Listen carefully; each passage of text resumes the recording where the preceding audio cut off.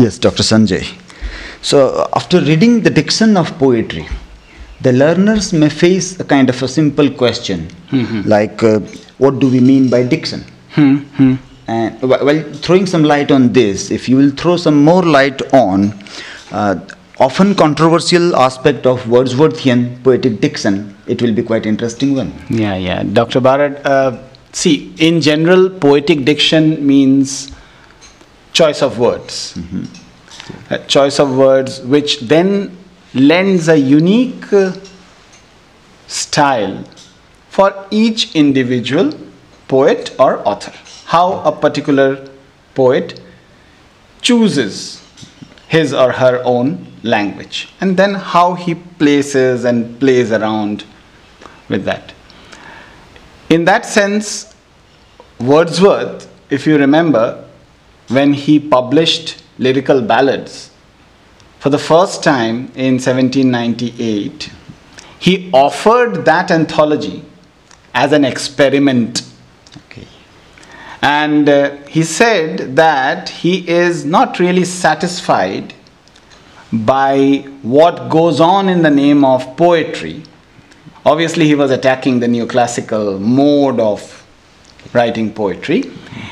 And in the preface, uh, he mentions that that way of writing, that diction, was inane, that was highly unnecessarily ornamental, erudite, and consequently, this, this erudition was only limited to city dwellers. Again, the distinction between the country life, con- life in the countryside, and the city dwellers, that the romantics seem to be having a quarrel with the mm-hmm. city life. Yes.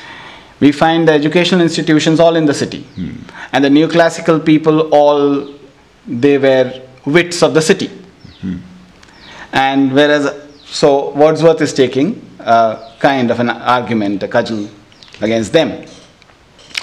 Now, he then says that he is interested in writing these poems in lyrical ballads in the language as really used by men.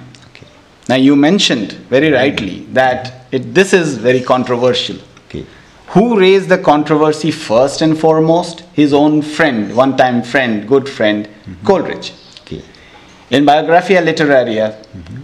there is an extensive section of Coleridge's disagreement with Wordsworth's poetic diction, Okay. where he actually questions that, my dear friend Wordsworth, what do you actually mean by language really used by men? Which men? What reality? Which real men?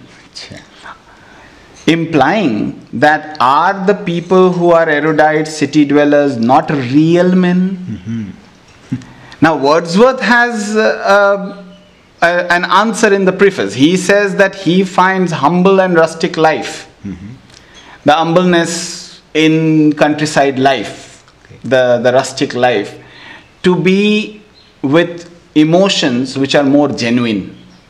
And therefore he is trying to capture in the words really used by men in the countryside, rustic men, in their diction, their emotions, Okay. Which he finds to be closer to reality, closer not reality, but close closer to more more more genuineness. Okay. He finds that more genuine. Probably city dwellers are more artificial. Yeah, exactly. So that is what he finds. Now, this is a thing, again, what we are discussing. The controversy of Wordsworth's poetic diction is that often we find that he himself does not uh, strictly adhere Yes. to that kind of a diction in his in his own poems. Poems. Okay. Coleridge has a very interesting example, and we can end this discussion with that example. There is a famous poem by Wordsworth called Michael. Okay. Now, Michael is a farmer. Now, Coleridge says, fine, you have selected a farmer as your topic, as uh, your focus in the poem. But is Michael the farmer we find as every farmer, or is he an exceptional farmer? Because the poem itself mentions that Michael is around 80 years old, he is hale and hearty, and he is uh, amidst nature. And now, this is something a person of 80 years old, hale and hearty, amidst nature, at that age, need not be true with everybody who lives in the countryside. Yes. So you are selecting again somebody exclusive. You are not talking about real life as real in the sense that happens with everyone. And therefore, neither your choice is real men nor the diction or language. Truly speaking, what you say is really used by those men. Mm-hmm. Okay. Thank you very much. Thank you, sir. Thank you.